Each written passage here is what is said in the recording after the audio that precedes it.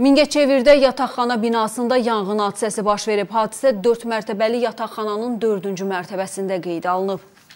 Yanğın söndürənlər tərəfindən alovun qarşısı alınıb. Mənzildə baş verən yanğına kiçik tutumlu qaz balonunun başlıq hissəsində yaranan alovlanma səbəb olub. Evin xanımı yemək bişirən zaman balon qəfildən alovlanıb. Yanğın zamanı ev sahibi 34 yaşlı Saqi Şəfiyev 3 yaşlı uşağını xilas edərkən özü əlindən və üzündən yanıq xəsarətlər alıb. Hadisə zamanı ev əşyaları yanaraq yararsız hala düşüb. Alovun digər mərtəbələrə keçməsinin qarşısı alınıb. Hürü Əliyeva, Emin Babayev, Şamat Gözəlov, Spois Mingəçevir.